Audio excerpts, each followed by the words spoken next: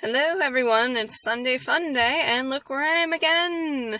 No surprise here, really, just because it's pretty much around the corner, and hopefully today I shall actually be explaining a little bit of what the canal did, and what some of the parts of the canal are, and how they work. So hopefully this will work out. Um, I think I'm gonna head towards where I normally do my bike riding today, and maybe I'll actually start off going the other way because I want to see if my friend's home. But we'll see. Be back later. So I started up the one way and it is just so muddy because it rained last night and I thought it would be, I mean, a little, bad a little slushy, but this is like giant puddles. I'm covered in mud, my bike's covered in mud we're still there we go. The bike's covered in mud. So I got the general store and I'm gonna head back. The unfortunate thing about um, my riding on the canal is that a lot of areas on the canal are in disrepair right now. And um, it's leaving a lot of segments that are unconnected. Um, like up ahead here, I ran into this problem um, last Friday when I was coming from the other way. I didn't know this, but this little section here is closed. And you might think, oh, well, I could probably just ride through that anyway.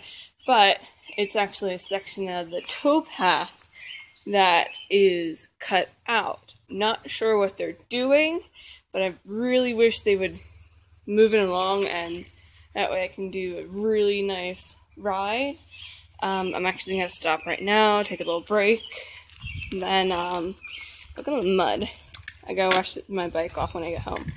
But, um, mud on me, but under a nice bridge right now. And we're gonna relax a little bit before I ride back. Um, I think right now I did 10 miles that's because I went a little further up and then back.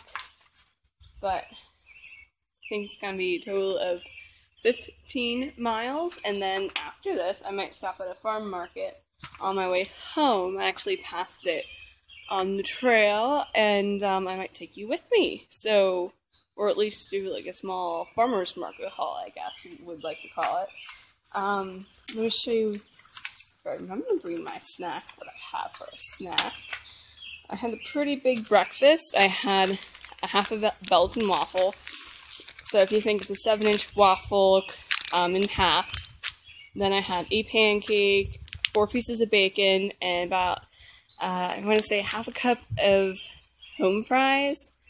And this bike ride is probably going to burn most of that off. On days like this, I do try my best to eat at least two or three hundred calories over my goal of 1200 ish. I say 1200 ish because I never do 1200 exactly. I usually go over a few calories. Doesn't matter. Oh, not really. Since I do so much activity and my job is very active, so I'm not quite worried about it. And while I know I'm showing you an picturesque view of everything. Um, this week, I lost, I think, 1.1 pound, which is pretty good.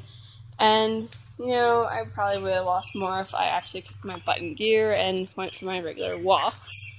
But my dog got attacked by another dog um, this past week. Thursday's all blur because I was home, worried about him. Even though he was perfectly fine, I have a spider trying to make a web on me. But I'm all really sweaty. Ah, it's on my phone now. I'm all sweaty and dirty, so hmm, I think uh, you can see him. See? Um, and he's play he's being a yo-yo now. Um, I'm gonna get the spray off my hand, and I'll be right back. Alright, so on my way back, I stopped somewhere for you guys. These, this is not a very good place to stop, but Lily was hogging the other view. These are the Nockamixon Cliffs. The cliff face is a little bit better back that way. Maybe I can find a picture or something for you um, to look at, but over here it says the Nockamixon Cliffs soar 300 feet above the riverbed. This Bucks County geologic wonder was formed eons ago when molten lava from the Earth's crust transformed sandstone and shale into a harder rock. Unlike the New Jersey side south-facing cliffs where cactuses flourish, these north-facing cliffs support rare Arctic alpine plant life. The only place where one of the species known to grow in the the only place where one of the species is known to grow south of Maine. The cliffs extend three miles along the Delaware River between Narrowsville and Kintnersville, providing a splendid view for sightseers. Admire waterfalls of ice in winter and blanket, blankets of Dutchman's breech, breeches, birches, I'm sorry, no, breeches, birches, in spring. Join bird, bird watchers who have come to this spot for centuries. Picnic, fish, or boat in the vicinity. Delaware Canal State Park maintains Nockamixon Cliffs as a state park natural area, protecting its valuable natural resource for your safety and that of plant and animal communities. Climbing the rocky outcrop is not allowed, much to climbers' disappointment. On the other side of the sign, um, oh, I'm sorry, I dropped you. Um, oh, why is there a split? There's a split. Why is there, why is that doing that? I'm sorry. I have no clue what I did. But, um, this just details a little bit about the Delaware River and the fish and um, marine life that live here. Um, man may control nature, but not the Delaware. The longest free-flowing river in the eastern United States. Without dams and dikes, the river hosts migratory fish American shad, striped bass, and American eel, traveling upstream and downstream to spawning grounds. Need clean water. The Delaware River Basin Commission founded in 1961 battles pollution, making our treasured environmental resource attractive for wildlife and recreation, and drinkable for more than 17 million people who rely on the water from the river as its, and its tributaries.